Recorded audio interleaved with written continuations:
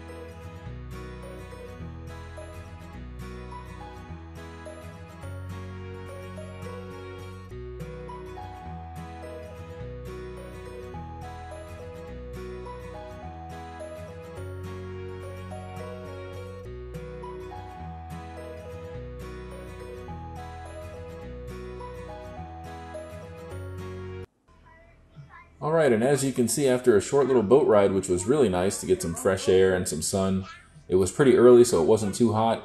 It is the summer in Florida, so it did start to heat up throughout the day, but at this point in time, we were at on the boat at around 8 a.m., and it was still pretty cool out. It's a beautiful boat ride, and as you can see, the captain put the ramp down for us and allowed us to back up out of the boat safely. He held the ramp there and allowed uh, all the other passengers to get out first, so it was there was a lot of space for me to get the scooter out without having to really worry about being in anybody's way. Uh, we weren't in a huge hurry because we did have early access passes to the park, so as you can see, there really weren't too many people around at all. And at this point, we're just riding the mobility scooter through City Walk, making our way to the front entrance of Universal Studios. City Walk is a really neat place which has many restaurants and shops. There's a lot of nightlife if you go there. Uh, at nighttime, after going through the parks, they're open pretty late. There's a movie theater. It's just a really nice place to be. And we actually went there after leaving the park and walking through City Walk on the way out. You'll see a little bit of that as well towards the end of this video. But now we're approaching the Universal Studios globe, which you can see ahead here on the video. Uh, in the big lake, there's that globe that rotates that says Universal. It's a very iconic piece there in Universal Studios, which many people like to take pictures of and selfies of themselves in front of that globe. It makes a really good picture, and it's definitely a great uh, memory to make if you have a camera. So you might see many people stopping here taking pictures. this is again right at the entrance of the Universal Studios theme park, which we're making our way to shortly with uh, some guests that we met on the boat, which also had a mobility scooter and became uh, friends with us here at the entrance. As soon as uh, we got off the boat, we were kind of chatting about the different scooters and how some come with a rooftop canopy accessory. It's a very, very convenient thing to have at a theme park. You'll see many other people at the theme parks had mobility scooters which they purchased or rented. Uh, we offer this mobility scooter for sale tax free, free shipping right on our website, mobilityscootersdirect.com. It was honestly a blast taking the Revo 2.0, which does have suspension and a 20 inch wide, very comfortable seat. The scooter has ample storage space in the front basket. We didn't bring the rear cage style basket, but if you have one of those, it's a really good accessory to take with you. You can put backpacks in there, ponchos, snacks, drinks. And I was limited because I only had the front basket, which comes with the scooter for free, but I would say it's definitely worth it to get the rear cage style basket for an extra few bucks just to have that extra storage space.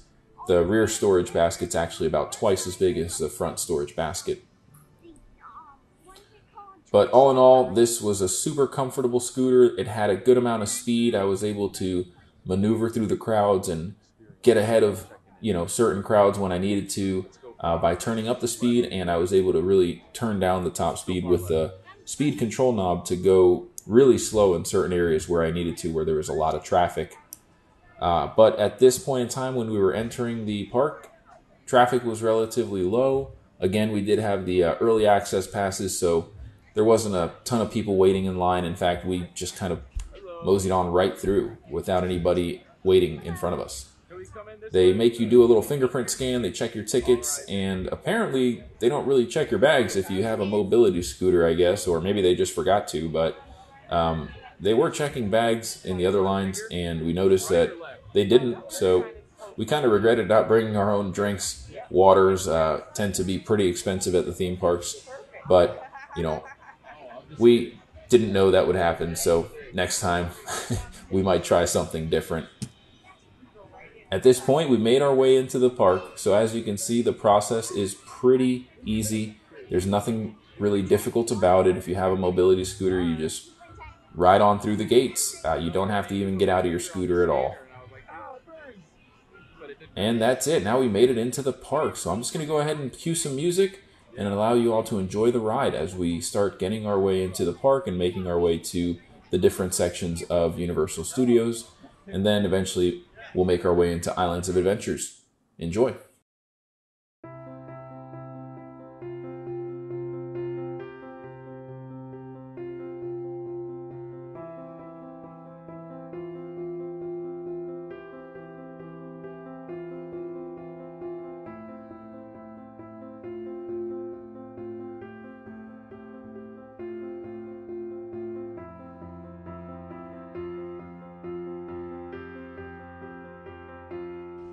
So we've made our way into the park a bit further than just being near the entrance, and uh, we see our very first roller coaster here, which looks really terrifying. It's got a huge elevation point and then a extremely steep drop, a loop de loop, a little too much for my little nephew to be able to ride. I don't think he met the height requirements, and we weren't gonna, you know, ride it without him. So we didn't stop there, but we continued on to some of the more child friendly rides, and you know, we were really here for the uh, the sake of bringing our nephew and showing him a really good time and making great memories. Uh, it wasn't about us, so we skipped on to the rides that our nephew could ride. Uh, the roller coasters like that one, uh, he just was not tall enough. So a little unfortunate, but he still had a blast. We made our way into Harry Potter World, and he loved it. He's a huge fan of Harry Potter. A lot of the kids are. And having a mobility scooter was honestly the only way I could take my nephew to recreate or to create a memory at the theme park because without it, my knee just hurts too much to be on my feet for an entire day at a theme park. We spent a good six or seven hours minimum out and about that day that we made this video, and it was great. It was gorgeous. The sun was out. It was a beautiful day. We had beautiful uh, scenes and scenery all around us. As you can see here, there's waterfalls and big monuments, bridges. I mean, it's just a really fun place to go. And for a lot of people out there, including myself, it, it can't be done without a mobility scooter or mobility device. Uh, hopefully you're enjoying this video. I'm going to go ahead and cue some more music and just allow you to enjoy the scenery here as we make our way through the park to different areas. And then we'll show you uh, some action footage of what it's like to actually ride one of the uh, roller coasters here where I take the camera for a ride on the actual roller coaster. Stay tuned, enjoy the music.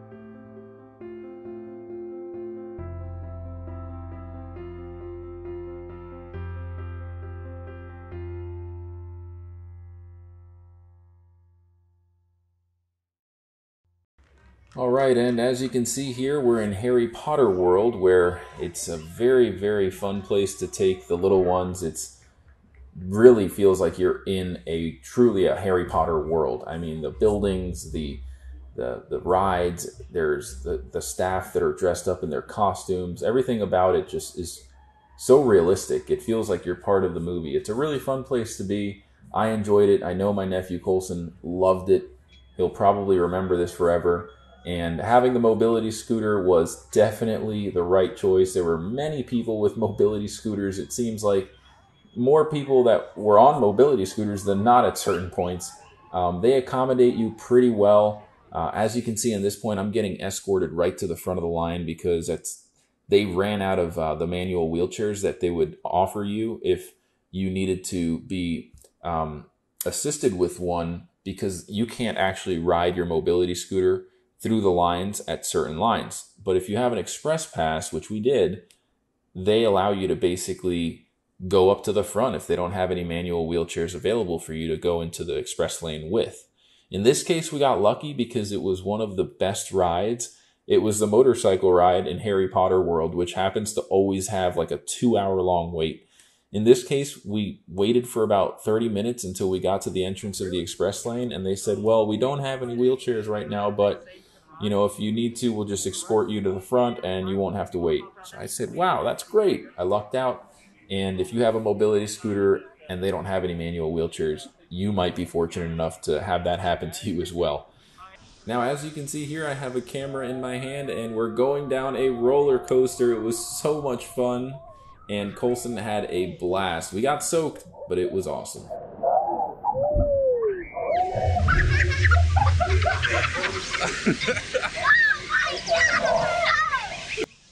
Now, fortunately for me, my knee does hurt, but I am able to walk for short periods of time.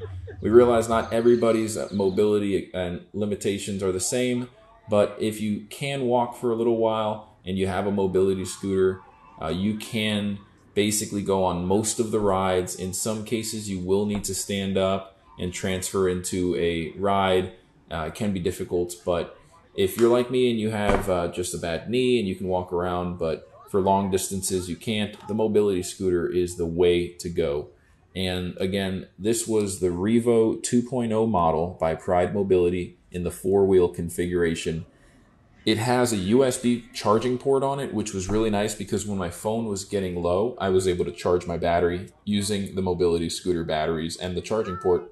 The 20 inch wide seat configuration on the four wheel setup can hold up to 400 pounds. So when the family got tired, they rode with me, and the seat was big enough to accommodate both of us. I was able to walk for a little while as well when my fiance wanted to go for a little ride. At the end of the day, even if you aren't limited with your mobility, being on your feet for eight hours or six hours, it hurts. At the end of the day, you typically have swollen feet when you swollen feet when you go to a theme park for the entire day. In this case, the entire family went, and none of us had sore feet the next day.